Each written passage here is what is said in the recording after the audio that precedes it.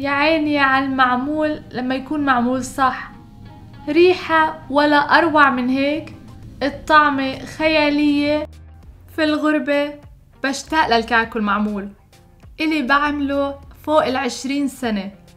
وهلأ وصلت لأطيب طريقة فيكن تعملوا فيه المعمول على أصوله بدوب بالتم وما في أذكى من هيك. خليني أورجيكم كيف وخلينا نبدأ. بوعدكم إذا تقيدتوا بكل المقادير وبكل التعليمات رح تحصلوا على أطيب معمول. رح نبدأ بإضافة أربع أكواب من الفارينة اللي هو السميد خشن شوي وكوبين من السيمولينا اللي هو السميد الناعم. خلط نوعين السميد مع بعض رح يعطيكم عجينة سهلة كتير للشغل وقوام رائع للمعمول. بخلط المواد الجافة مع بعض وبضيف ربع كوب من زيت الزيتون وكوبين من الزبدة. بدوب الزبدة وبحاول بس أستخلص الزبدة الصافية والحليب السائل اللي رح يترسب بالقاع مش رح أستعمله اطلاقا. فبإمكانكم تدوبوا كوبين ونص من الزبدة عشان تحصلوا على كوبين صافيين من الزبدة. شي كتير مهم إنكم تضيفوا الزبدة وهي دافية مش وهي سخنة. أو درجة حرارة الغرفة. الزبدة اللي لازم نستعملها زبدة غير مملحة وكتير مهم نستعمل زبدة طعمتها كتير طيبة. عم بستعمل زبدة أوروبية. كتير محرز المعمول إنكم تستعملوا أطيب زبدة فيكم تلاقوها بالسوق. وراح أخلط الخليط لمدة دقيقة أو دقيقتين لحد ما يمتزج. الخليط مع بعض كتير منيح. وراح أغطيه وأتركه لمدة 8 ساعات أو ليلة كاملة. بفضل ليلة كاملة.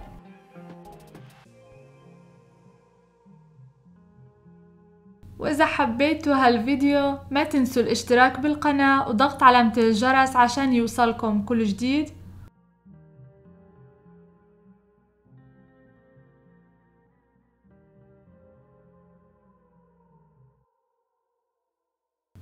تاني يوم بدي أشتغل على الحشوات وبإمكانكم تشتغلوا على الحشوات أول يوم وتحضروهن لتاني يوم.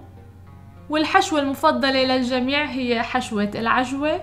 بس بدنا ننكهها ونضيف لها زيت الزيتون عشان تصير طرية وكتير طيبة جوا المعمول.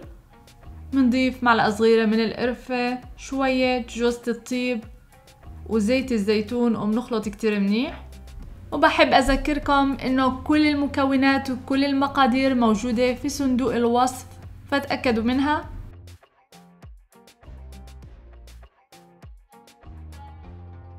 أنا عم بعمل الكمية الأكبر عجوة لأني مثل ما قلت لكم عندي بالبيت كتير بحبوها.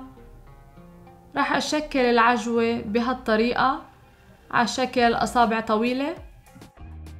صدقوني من أذكى الأكلات اللي فيكم تعملوهم لعيلتكم ولحبايبكم.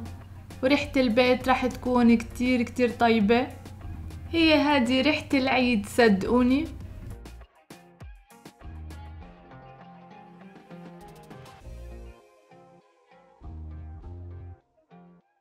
راح أعمل كمية كوب واحد من الجوز. راح أفرمه فرم وسط. بإمكانكم تفرموه ناعم. هذا برجع لكم لإلكم. راح أضيف معلقة صغيرة من القرفة ونص معلقة من جوزة الطيب.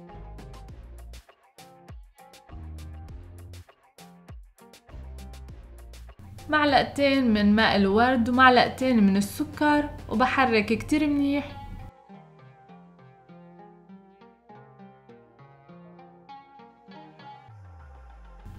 وآخر حشوة هي حشوة الفستق كوب واحد من الفستق ومعلقتين من ماء الورد ومعلقتين من السكر وهذا هو.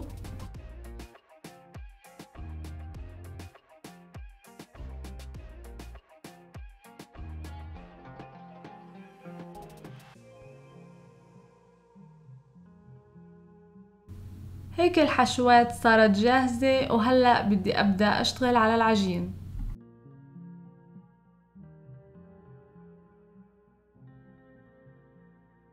لخلط العجين رح أحتاج معلقة صغيرة خميرة فورية ومعلقة صغيرة سكر. بدي أضيف لهم كوب من المي الدافية. بخلطهم وبتركهم لمدة دقايق. واللي رح يعطي للعجينة طعمة وريحة رائعة هو ماء الزهر اللي رح أضيفه بكمية كبيرة للعجينة. رح أبدأ بإضافة نص كوب من ماء الزهر.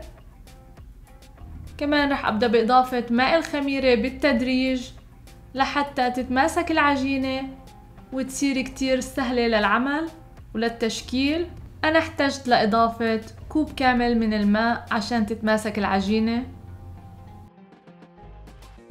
لكن هذا كله بيعتمد على نوع السميد وحرارة الغرفة وكتير عوامل تانية. كل اللي بدكم إياه تتشكل معكم عجينة سهلة العمل. رح أشتغل على العجينة بكميات قليلة وأغطي الباقي. مثل ما قلت لكم يمكن نحتاج شوية سوائل أكتر. فبضيف يا ماء زهر يا ماء عادي. هاي هي الطريقة اللي بدي أشكل فيها كعك العجوة.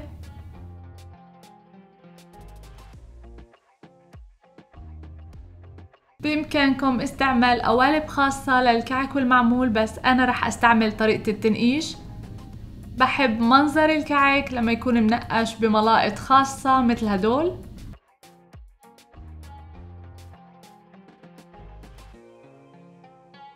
فيكن تتفننوا قد ما بدكن وتزينوهن بالطريقة اللي بتحبوها.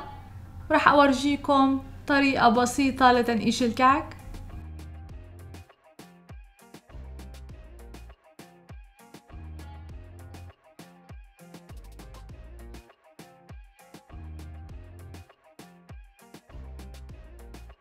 وهيك طريقة عمل الجوز بعملها بشكل دائري وبضيف كمية وفيرة من الحشوة.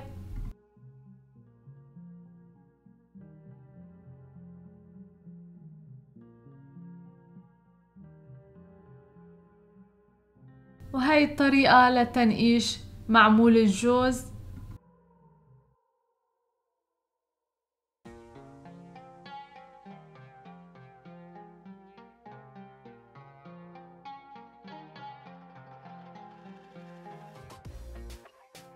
رح أورجيكم طريقة تانية لتنقيش الجوز. طريقة دائرية كأنه منرسم وردة أو مننقش وردة.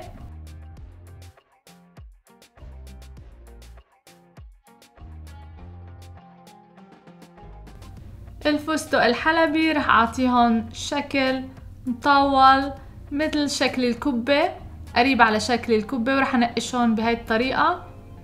عشان نقدر نميز بين الفستق والجوز.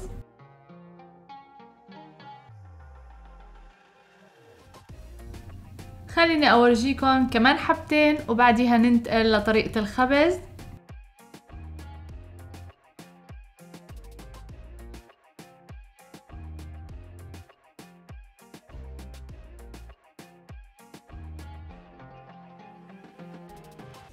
لما تخلصوا مقدار صينية أو صينيتين بدنا نبدأ بالخبز. الخبز على حرارة 196 مئوية.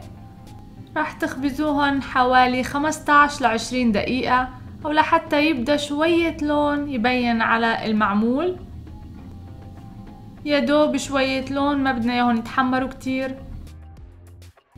صدقوني ريحة البيت رح تكون غير شي ورح تنبسطوا بالنتيجة. جربوا هالوصفة وقولوا لي كيف طلعت معكم للتخزين درجة حرارة الغرفة ممتازة لتخزين الكعك المعمول تأكدوا إنهم يكونوا مغطيين منيح. وللتقديم فيش أذكى من السكر الناعم على وجه الكعك والمعمول. هيك بنكون وصلنا لنهاية الوصفة وكل عام وأنتم بألف خير.